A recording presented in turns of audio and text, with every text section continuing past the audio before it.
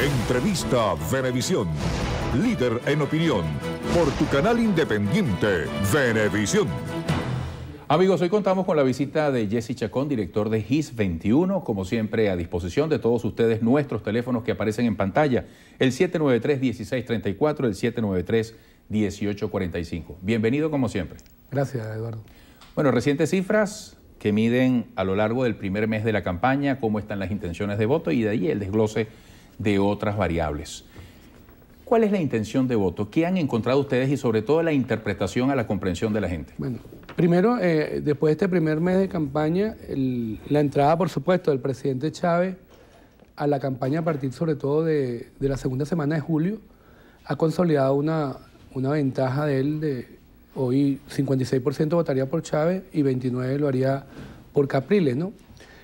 Esto tiene dos elementos, tres elementos fuertes que lo sustentan. Uno, la valoración de gestión del presidente Chávez, que alcanza el 64%.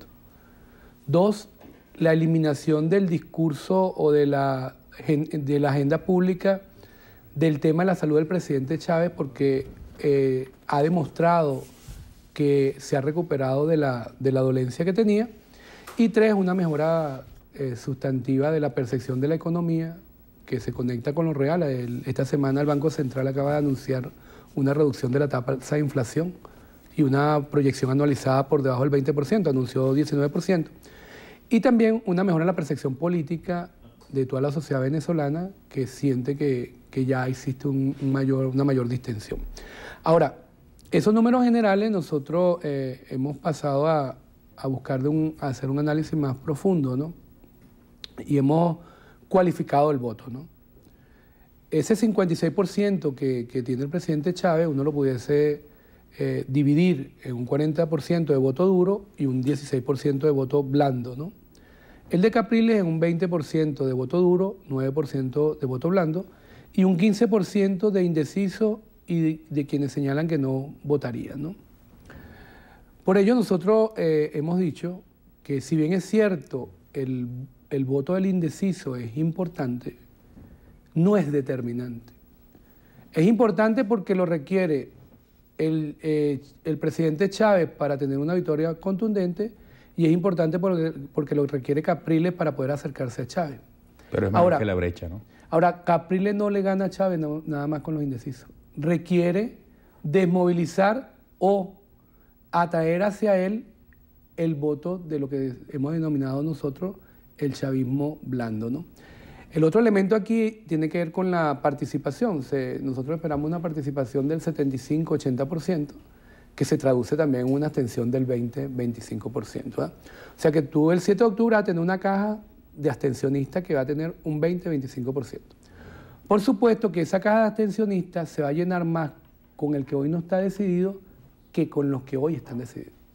Porque es más natural que el indeciso no termine de decidirse y no vote que el que ya se decidió pase a una posición de abstención. ¿no? Entonces, en esa realidad, los dos comandos de campaña tienen un gran reto en estos dos, meses que quedan de campaña. ¿no? Primero, en el, marco de, una realidad venezolana nueva, el, hoy la sociedad venezolana es una sociedad con una característica bastante distinta a la sociedad del 98, ¿no? Es una sociedad muy politizada. De hecho, 48% de los venezolanos se informa de la campaña no por los medios de comunicación, se informa por el boca a boca, por reuniones en la familia, con los padres, con los amigos, con reuniones del trabajo o en áreas de entretenimiento. ¿no? Después de, de, ese boca a boca viene la televisión con un 34%. Entonces, en ese nuevo escenario de, una sociedad tan politizada, la estrategia del Comando Capriles, que lo han ido desarrollando, ha entendido que en la Venezuela de hoy la derecha no gana. Es decir, alguien que se muestre eh, ideológicamente como un candidato que lleva adelante las ideas de, lo que ha sido la derecha, no gana en Venezuela hoy. A lo mejor dentro de 6 años o 12 años lo hará, pero en la Venezuela de hoy no gana. Entonces, eso ha tenido como consecuencia que eh, la estrategia de campaña haya sido llevar la figura de Capriles de la derecha a la izquierda, ¿no? Eh, aún proviniendo de, un partido de derecha como Primero Justicia. Oye, ustedes han dicho con toda nitidez que ese voto duro de 40% no es suficiente para ganar, Así es. que hay que trabajar con ese voto blando que tiene un margen de 16%. ¿Qué define a ese votante o a ese voto blando? ¿Por qué no está convencido aún declarándose chavista? Bueno, primero, eh, este voto blando es quien dice que va a votar por Chávez, pero en una primera instancia es nuevo votante, ¿no? Y lo llamamos voto blando porque es su primera vez que va a ir a, a- a ejercer, a diferencia de este voto duro que hoy manifiesta que va a votar por Chávez, pero que en pasados procesos o votó por Chávez o votó por opciones del chavismo, ¿no? Desde el punto de vista del histórico de voto. Lo otro tiene que ver con la conformación de él. ¿no? En este voto blando, además de, de haber primeros votantes, haber población joven, en el caso del chavismo se mueve el, ese chavismo menos ideológico. ¿no? Es el chavismo que demanda más hechos concretos, que demanda eficiencia. En el caso de la oposición, que también tiene su porcentaje blando, el voto duro de la oposición está conformado por aquellos que no le importa ni siquiera que el candidato es Capriles. Ellos votarían siempre con tal de votar a Chávez. Voto castigo. Voto castigo de 20%.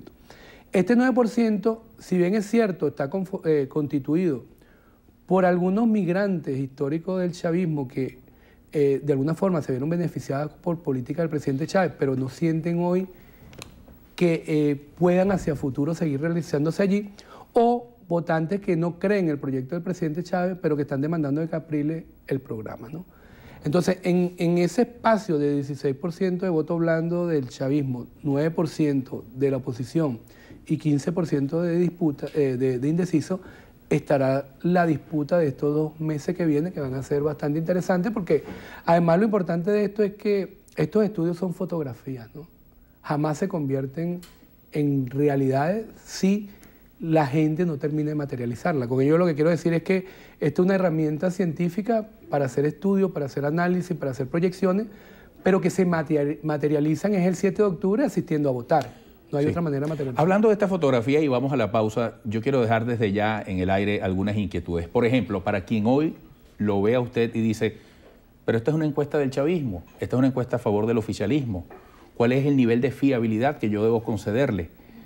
Otra pregunta, ¿por qué se escogió como se escogió a Meliach? ¿Por qué no hubo primarias? Primero Justicia decía, aprendan del ejemplo de nosotros que fuimos en la totalidad de las propuestas a primarias.